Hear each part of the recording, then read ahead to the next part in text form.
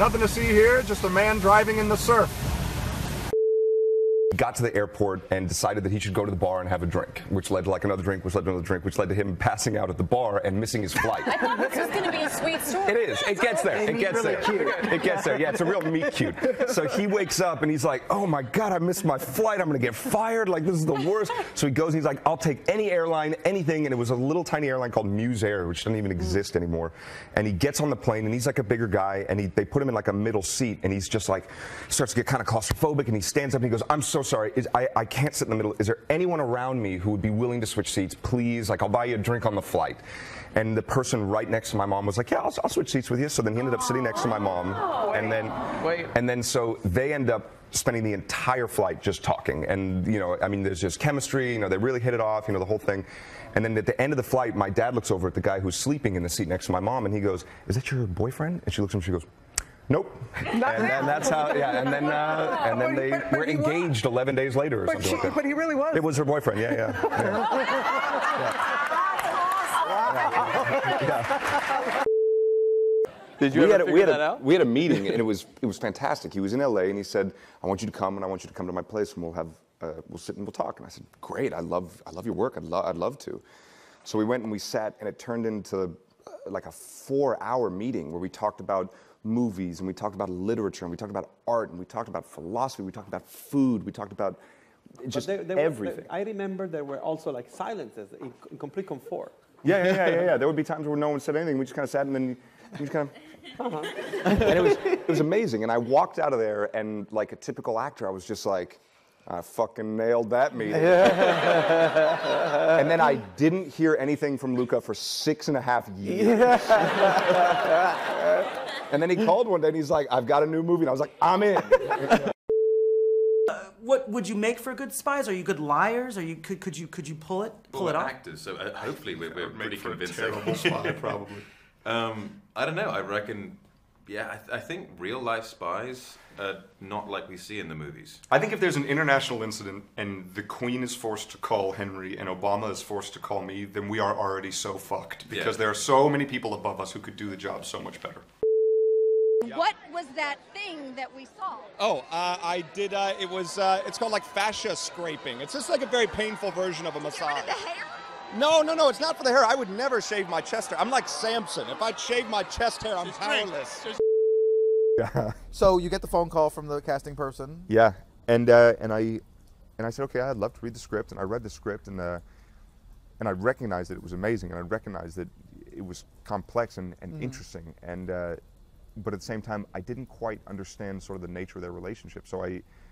I was like, you know what? I can't go in and audition for something if I don't really understand it because I don't want to look like a chump for Clint Right. Eastwood. Like I, I only want to go in if I know I can do a good job. And I was like, I don't think I can do a good job on this. Hmm. And my agent was like, Are you out of your damn mind? What are you talking about? Get in there and do this. By the way, there was definitely elements of that where he said, "Okay, now look at this look that she gives in this one frame. I've never seen anyone be able to do this before. This is the most beautiful thing, and that's what I want you to do on this scene." And I go, "Wait, that?" And he's like, "Not like that. No, she did that. You have to do your own version." You go, "I don't know what that means. How do I apply that?" You But know? just as good. Yeah, yeah, yeah. Just as better. good. Yeah, Well, there's a lot of stuff going on, I'm sure, on uh, in Mirror Mirror. yeah, It'll yeah. distract oh. you. I mean, it's it's.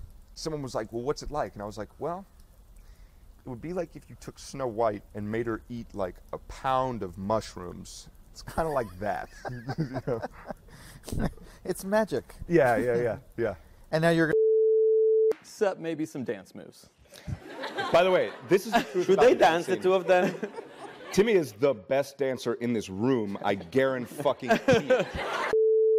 thing you and the cast were able to do to, to when you weren't on set to kind of lighten it up a little bit? Oh, I. Uh, funny story. I actually bought a pig from one of the extras. Uh, they they showed up with. That'll lighten it up. Yeah, yeah, yeah. So so this guy this this guy's supposed to bring a pig and he brings his hog and it's enormous. I mean, it's like tw- it's like almost as tall as I am. Like it's in, in, and Nate looks at it and goes, "This makes me really nervous. If we let this thing off of its leash, it's, if it runs wild, we're not going to be able to get this thing. And also, it's bigger than pigs were back then." And the guy was like, "Oh man, I don't even really want this pig. I was just bringing it for this. Like, I guess I got to drive it all the way home now." And I was like, "So wait, would you sell it?" And he goes, "Well, how much?" And I go, "I don't know. How much do you want for it?" And he goes.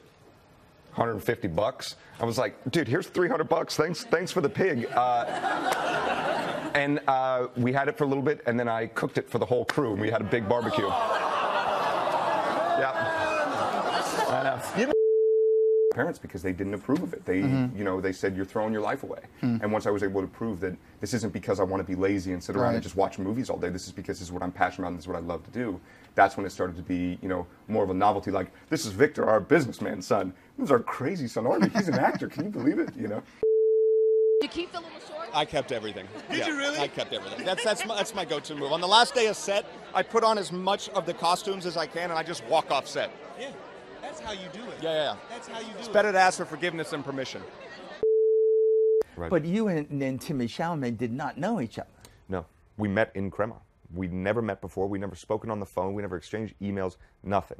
So there was really kind of a ambiguity to it of like, am I going to know this guy? Am I going to like this guy? Are we going to be able to do this? But, Well, but those two don't know each other either, so maybe Right, that right. really works. You know, they're Yeah. just basically meeting each other and doing that. Yeah, and Luca's sort of whole rationale for it was if I love you and I love him and I think that you guys are both great, then you'll like each other, no problem. And fortunately, it worked. I'm sure there's been instances where that hasn't worked, but uh, lucky enough for Timmy and I, it worked. Yeah, what are you talking about? You Yeah, know, yeah, yeah. You might like this guy. yeah, I, think we should do. I think we should do a rehearsal. I hate rehearsing. Oh boy, you know.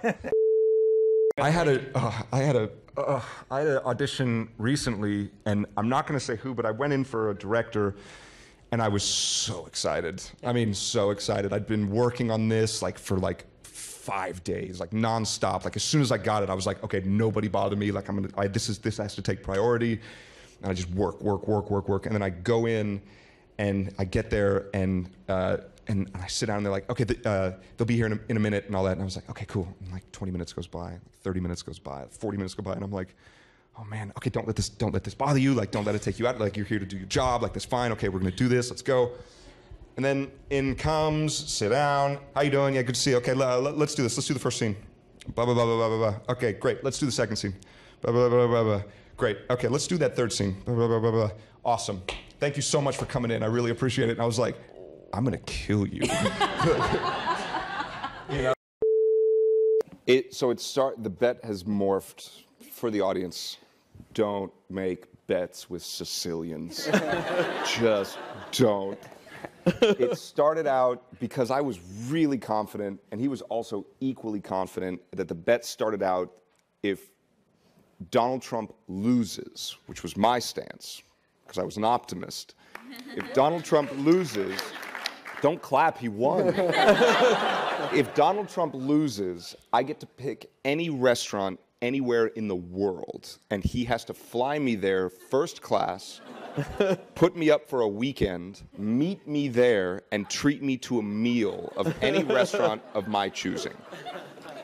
And the flip side of that was he got to pick any restaurant anywhere in the world, and Kyoto, Japan. I Donald the, Trump I picked the won. imperial villa of Yeah. the of the Japan uh, royal family. Oh my god.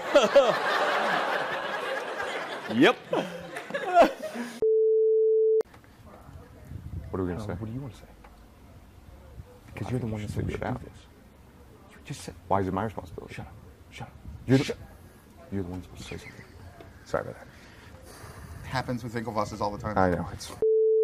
Good morning, everybody. Oh yeah, you're a morning person. Yeah, sometimes, yeah. sometimes. But you, I hear you have a morning ritual. So did you stick Yeah, with yeah. that? Uh, I like to take a morning ritual of a nice shower. It's part morning ritual, part just hygiene. But yeah, like nice. No, this was uh, this was after Social Network. This was a little while after Social Network. Uh, long enough after Social Network that I was kind of like, I probably should have a job soon, or this is going to get bad. Like to start by asking, how did you get your SAG card? Uh, I was Taft-Hartleyed in on a movie that was a small independent movie, uh, and they needed a waiter to come over, and I think it was who was in it? Kip Pardue was in it. I don't even remember what it was called. I think it was called Laura Smiles or Laura's Smile, something like that. Uh, and I played a waiter, and I came up, and I wasn't supposed to have any lines, and I was supposed to be thinking, and the director was like, "You got to say something," and I was like, uh, uh, uh, uh, uh, uh, "Do you guys want anything? And they're like, yeah, fine, okay, good. And that was it. And Wow. and then they realized because it was such a small production, uh, they were like, oh wait, do you have a SAG card? And I was like, no. And they were like, oh no. And they kind of had to scramble to.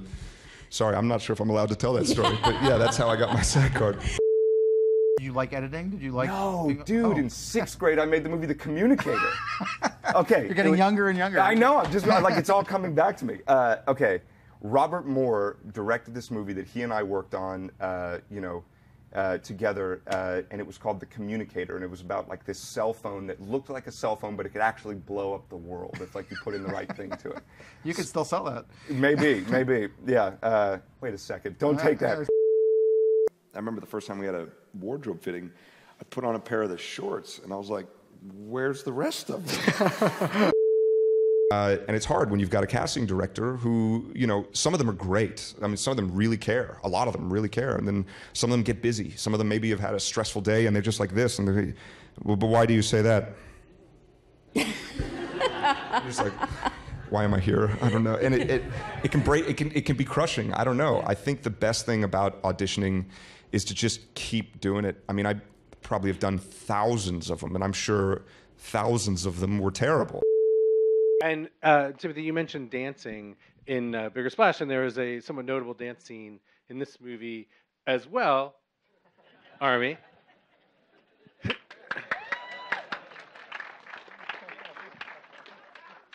Did you expect it to be as kind of notable of a scene as it turned out to be? No. First of all, let me explain. If you're doing a dance scene in a movie, there's no music. You are dancing to complete silence, except maybe like a click track so you can keep rhythm. So I'm six foot five. I'm on a dance floor. I immediately assume that I'm the lanky guy that everyone's like, oh, who's the really tall guy flailing over there? And then all of a sudden there's no music and you know you're sober because you're working. I don't know about a lot of people, but I've never really been sober and thought, oh, now's the perfect time to dance.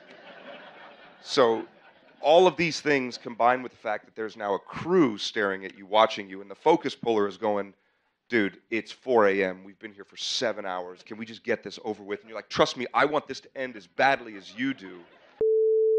I remember when I was a kid, I, I would grab like a video camera, like a little home camera, and like Mhm. put it on a tripod and be like, okay, Victor, my brother, Victor, you're this kind of guy, okay, and you're this, and Jonathan, you're this kind of guy, and I'm this kind of guy. Okay, ready? You guys go, and then I'm gonna come in later, and then we're gonna do this thing. Okay, ready? Go. And of course, we would end up doing like an improv scene that would last like an hour and a half, and by the end of it, they'd be like, can we go now? And I'm like, you're ruining the scene. You know, it's like that kind of thing. But it was just always what I loved. You know. So can you remember the first movie you made? Uh, the only thing my school was offering at the time was a musical, so I just did it. I, I think it's fine, but you must sing to your kids.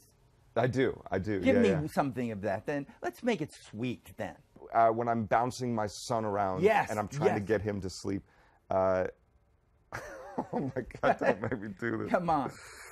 Uh, I just, I just like ramble. So I, I kind of start with, I'm like, who's my little buddy, my sweet little buddy? We love you more than any other thing, except your sister. We love you both equally. You're my little buddy, my sweet little, and it just goes on and I on and on. love that. Yeah, yeah, yeah. I love that. Yeah. That's award caliber. You Yeah. should be. The next thing will be a musical. Now right? I'm actually just- sweating. But that's. Well, what kind of things do you find attractive in a mate? Uh, she has to be five nine and a half, brunette, uh, from San Antonio, Texas. Uh, grew up in Northern California and Colorado. Very specific. Yeah, I have a very specific, uh, perfect mate. So, does, are you seeing someone? Yeah, or- my wife, Elizabeth. yeah. yeah. That's cool. So it's serious. It's it has yeah, it's pretty serious. That afternoon, after meeting him, we were riding bikes around the town, and he was going, "That's the coffee shop you want to go to, and they make really good gelato there, and that place has really good pasta and oh, great pizza over there." So, our relationship kind of unfurled itself really analogously to the film. So we were just afforded all this time to spend with each other. And then everything else in the movie played out too in real life. we really went for it. You uh, have had a busy year. We've been basically doing this since Sundance. Yeah. in January. I, I just did the math outside. I think we've spent four and a quarter times as much promoting the movie as we actually spent shooting it. Not looking straight, in front of you, yeah.